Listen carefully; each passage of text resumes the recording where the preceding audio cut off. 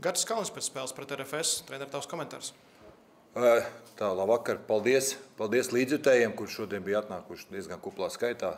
Ļoti emocionāli atbalstīja komandu un bija, bija, tā, bija jūtami, ka palīdzēja un dzīvo komandu uz priekšu.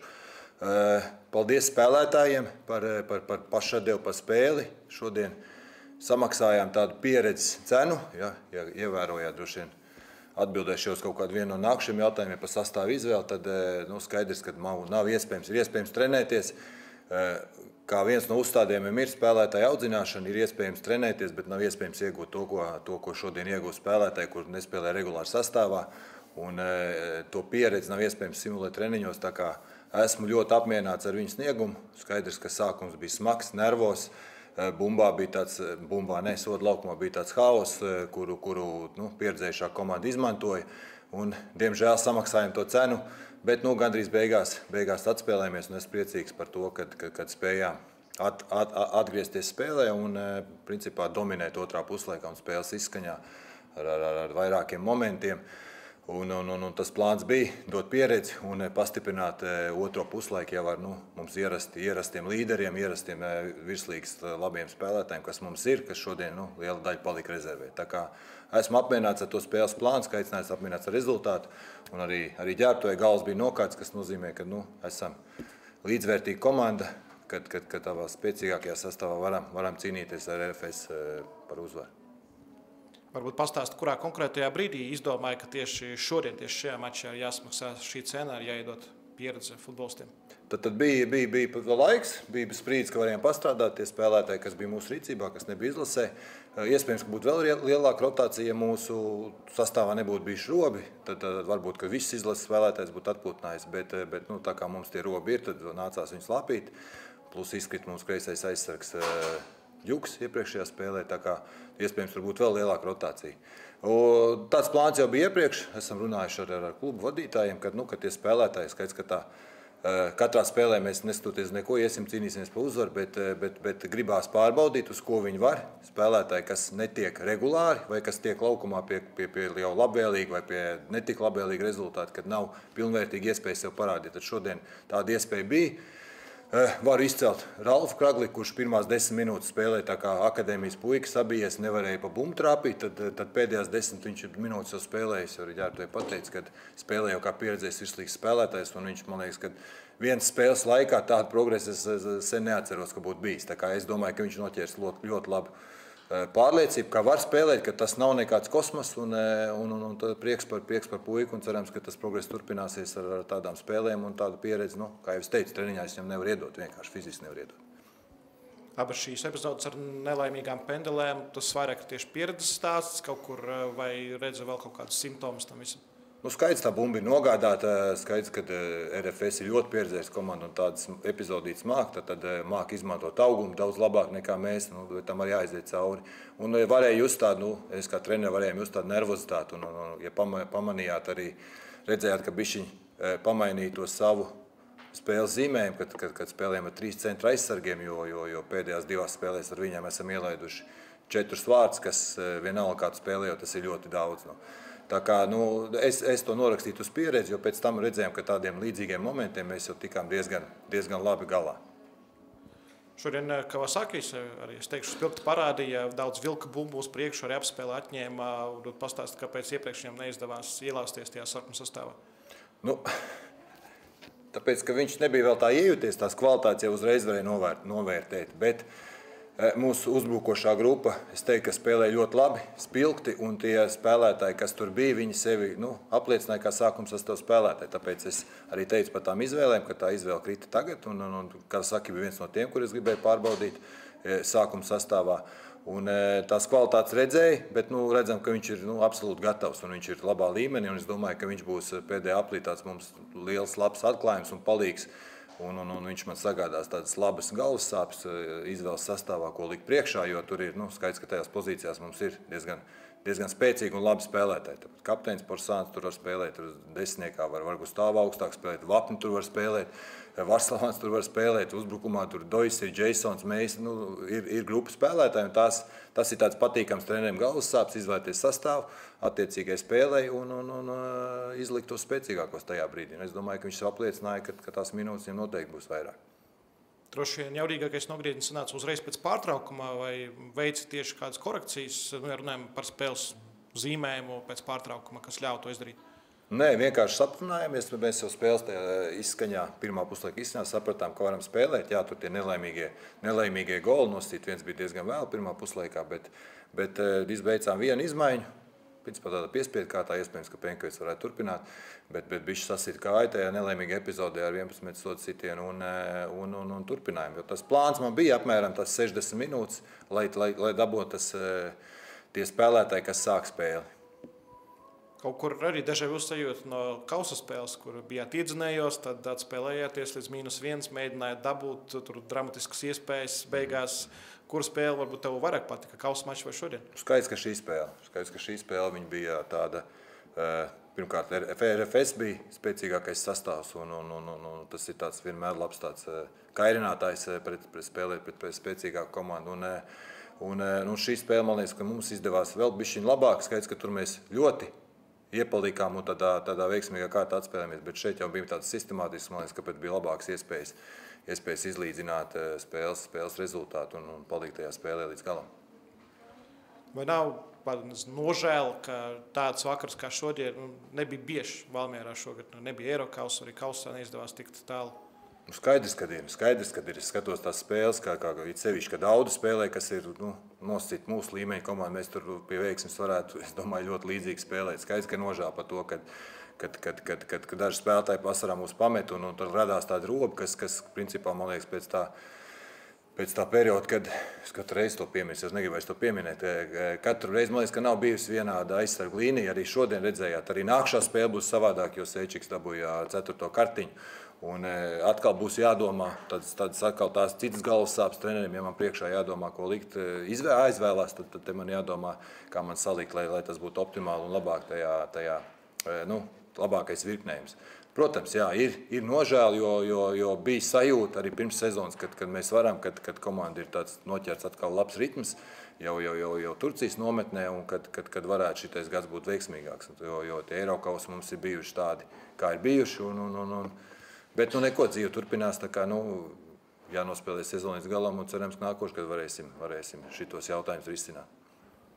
Un liela nedēļa Renāram Varslavam, ar ko vēl pats esmu uzspēlējis, metā savulaik. Tagad pirmais gols izlasīts. Jā, 17. gadā.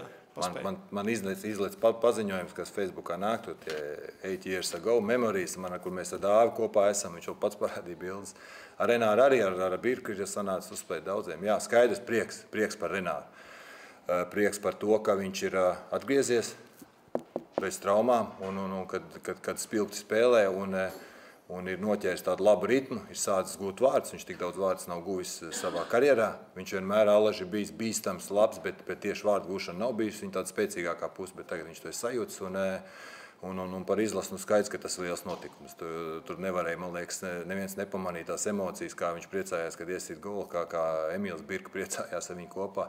Tā kā prieks par puiku, bet eh, godam nopelnījis, jo janvārī bija Turci, Turcijā pēc, pēc tā pagājušā gada, tāda smagā viņš bija nu, viņš neizskatījās tik labi, neizskatījās pārliecināti. Bet, eh, bet eh, laikam ejot, spēlējot regulāri, viņš, viņš atgūst savu pārliecību un, un, un, un viens no līderiem šobrīd mums laukumā. Ja? Pat šodien nācās izmantot viņa neierastā pozīcijā. Un, un, un uzskatu, ka viņš arī veica savu veidu sāsinājumu un bija, bija, bija aktīvs uzbrukumā. Un it sevišķi, kad, kad atnāca vēl klāt eh, ierastie partneri, tad, tad tos karusēs viņi tur māca virpināt. Citreiz pat liekas, ka par daudz, ka kaut kur jāatrod tas sitiens vai piespēle. Bet, Visi atbild prieks, prieks par viņu. Un ceru, ka tas tā kalpos viņam par motivāciju vēl, vēl, vēl augstākiem mērķiem un sasniegumiem. Viktors Moras pēc spēles pret Valmēru. Trener, tavs komentārs. Labvakar. Pirmais, ko es gribu pateikt, paldies par šādu atmosfēru tribīnēs, gan pretinieku līdzjutēji, gan mūsēji. Tiešām radīja tādu futbola atmosfēru par spēli. Pirmais puslaiks bija tāds, ka e, pretinieki bija ļoti motivēti, cīnījās. Tā, un, e, mēs negribējām tā arī spēlēt, e, bet gribējām vairāk spēlēt tieši ar bumbu. Ne viss izdevās, bet kopumā par pirmo puslaiku esmu apmierināts. Neļaujam pretiniekam neko izveidot pie mūsu vārtiem. Guvam divus vārtus, vēl bija iespējas. Otrajā puslaika, pirmā daļa, nesapratu, kāpēc tā notika, jo pārtraukumā mēs runājam tieši citādāk, rīkoties, citādāk spēlēt. Pretiniekam bija vārti, vēl viena iespēja. Bet kopumā esmu priecīgs par rezultātu, par sniegumu, par to raksturu un kā līdz galam e, turējam to spriedzi, izturējam un paņemam svarīgus trīs punktus. Laikam pirmais, īpaši šajos mēnešos, ko gribās prasīt pēc spēles, kā jūtas tie spēlētāji, kuri piespiedu kārtēs tajā laukumā, Adams Marhijovs vai arī Mārtiņš Čigurs, tur bija kaut kas viņam vai nebija? Nu, pagaidām es nevaru neko daudz teikt par Ādamu.